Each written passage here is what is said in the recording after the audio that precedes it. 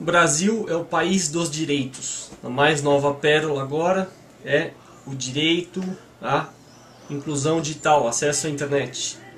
A princípio, aos ouvidos das pessoas dominadas pelo senso comum, vão dizer que é uma ótima ideia, mas eu quero desenvolver isso. É claro que seria maravilhoso se todo mundo, todos os brasileiros tivessem acesso à internet. Agora, entre criar um direito e tornar isso realidade, existe uma diferença abismal. E esse é o problema do Brasil, porque aqui prevalece a mentalidade de que se resolve os problemas criando direitos, enquanto os problemas fundamentais que a gente sempre repete, que é a carga tributária elevadíssima, a dívida interna enorme do governo, a ausência completa nos últimos oito anos de uma reforma trabalhista, previdenciária, tributária, é óbvio. E isso ninguém fala. Se você quer dar acesso à internet para todo mundo, então propicie os meios das próprias pessoas conseguirem esse acesso. Incentive a concorrência, desonere o empresário.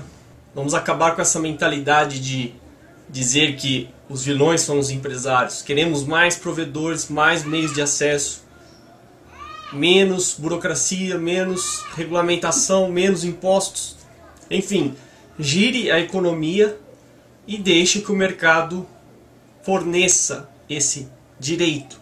Por exemplo, você sabia que por ano, em média, cada empresa perde 2,6 mil horas por ano com burocracia?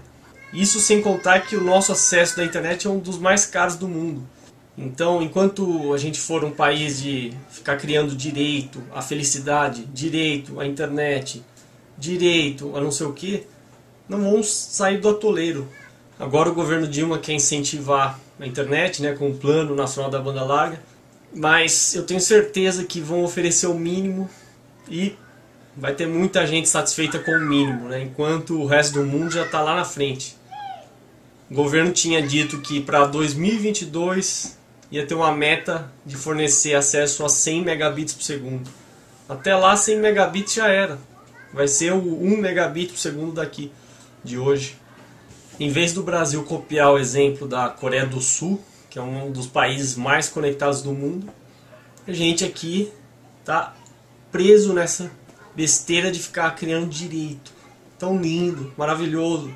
Aí você pega a Constituição, coloca na parede e fica lá, admirando aquele direito que só fica no papel.